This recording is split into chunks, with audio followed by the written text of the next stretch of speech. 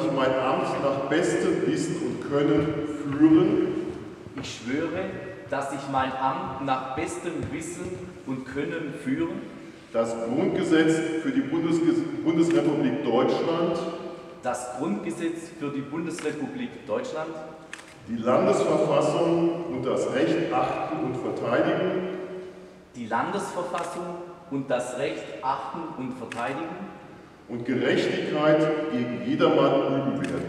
und Gerechtigkeit gegen jedermann üben werde. So wahr mir Gott helfe. So wahr mir Gott helfe.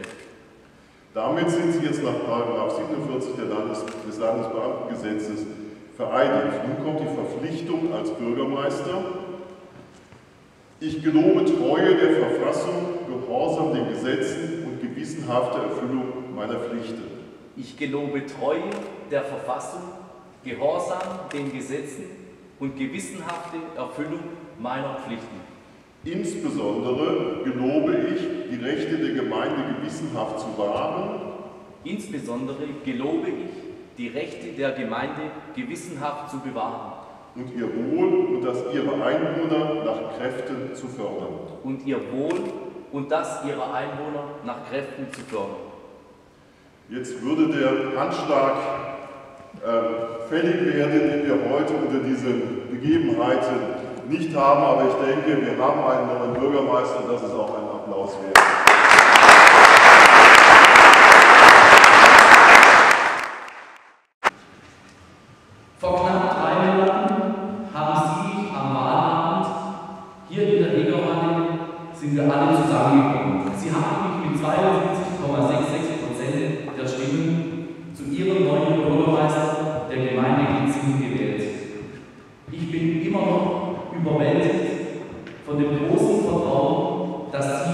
Mir entgegengebracht haben.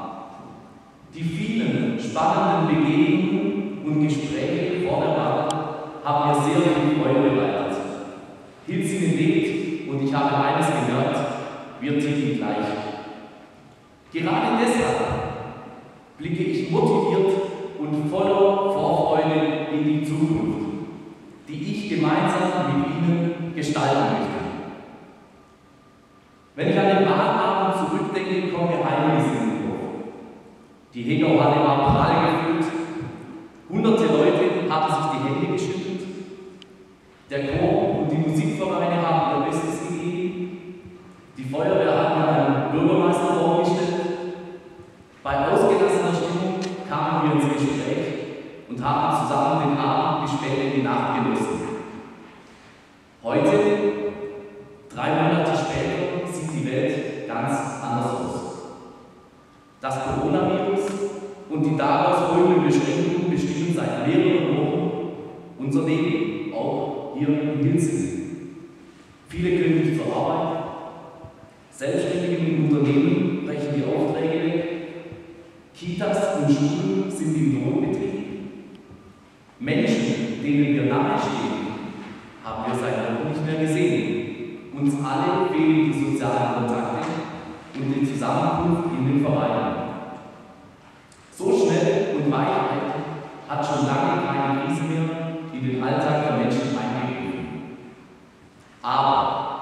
Und jetzt kommt ein entschlossenes Aber, es wird auch eine Welt nach Corona geben. Wie die Welt aussehen wird, wir wissen es nicht. Mir ist aber wichtig, dass wir die Impulse aus dieser Krise mit in die Zukunft nehmen, auch auf kommunaler Ebene.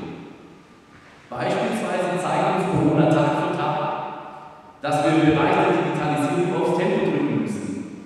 Auch im kommunalen Bereich. Auch im Rathaus. Wer hätte gedacht, dass eine Vereinigung mal per Livestream übertragen wird?